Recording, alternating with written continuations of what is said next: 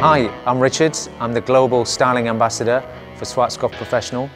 And today we're going to show you a great look using the fabulous new Wind Touch. Applying to wet hair, we're going to take a pea-sized amount of Wind Touch. I'm going to work that into my palms and then through the hair as evenly as possible.